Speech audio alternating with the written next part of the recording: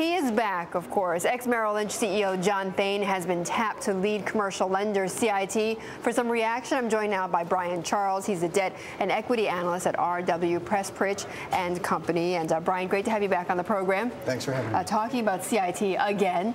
Uh, your first, uh, your initial thoughts about John Thain leading the company? This is a positive development. When the company emerged from bankruptcy, there was some speculation in the market that they were really just restructuring themselves to go into runoff mode over the next several years and pay back their bondholders.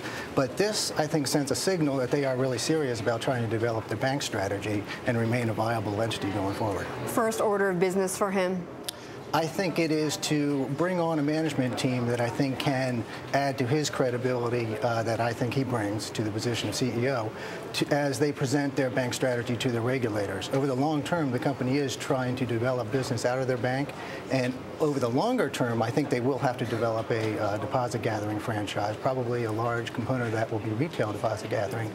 And I think he is in a good position to bring on a management team that will give CIT a clean slate with its regulators as it tries to present that plan. Well, cost of funding is obviously the big issue at CIT. That's what drove them into uh, into this bankruptcy position. What can John Thain bring to that uh, table that's different from what other CEOs could have brought?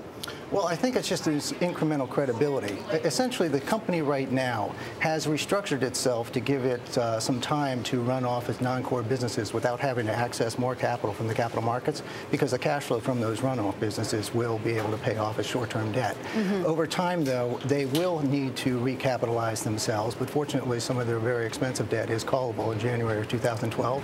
If they can present a strategy to the regulators that is, you know, is viable, regulators pass on them um, you know, developing a retail deposit gathering franchise, mm -hmm. they may present that to the markets as a way to allow the markets to feel comfortable about recapitalizing the company. Well, how soon could that, what timeline are we talking about for the deposit gathering, but also just to overall have this structure in place before their debts have to be called back? Well, I think uh, over the next couple of years, basically 2010 and 2011, the company, I think, will have the cash flow to pay off its very expensive debt that it, uh, that it incurred as it prepared to go into bankruptcy.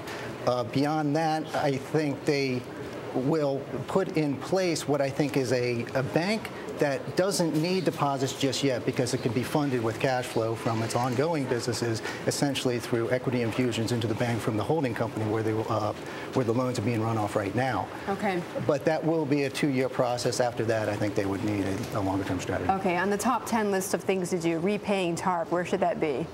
Well, uh, essentially, the government technically lost its TARP investment through the restructuring. So, you know, to the extent the company needs to repay TARP, I, there's no set figure or anything like that. I just think there will need to be more of a corporate citizen going forward to um, essentially, you know, increase the small business lending component of the business, which, you know, John Thain has specifically called out as a strategic uh, objective. Right, indeed, uh, very strategic for the company. Okay, thank you so much, uh, Brian, for joining us. Brian Charles of RW Pressprich.